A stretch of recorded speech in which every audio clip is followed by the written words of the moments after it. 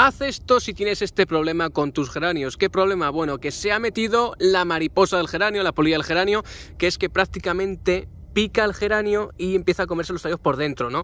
Entonces, te voy a enseñar el remedio que yo suelo hacer casero que no le he hecho nada prácticamente para que al menos no se los cargue. Entonces, bueno, si te gustan las plantas y el huerto, ya sabes, sígueme aquí porque entro en vídeos interesantes como este y prácticamente te lo voy a enseñar ya.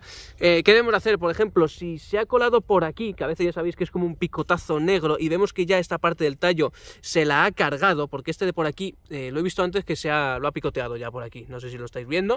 Bueno, pues lo que debemos hacer es lo que yo suelo hacer es darle un corte al ras.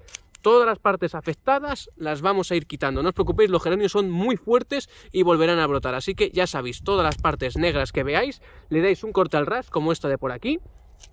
Y ya veréis como prácticamente en unos días todo el geranio vuelve a brotar sin ese problema de las plagas.